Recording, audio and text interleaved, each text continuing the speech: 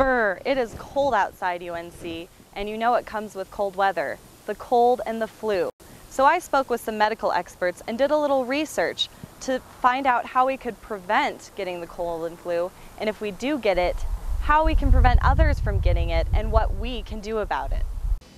Good prevention is getting lots of rest, trying to um, decrease your stress, staying really well hydrated, um, eating fairly healthy.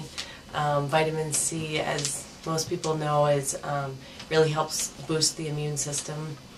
There are certain places that you should keep your hands away from, especially on your face. So, keep your hands away from your ears, eyes, nose, and mouth.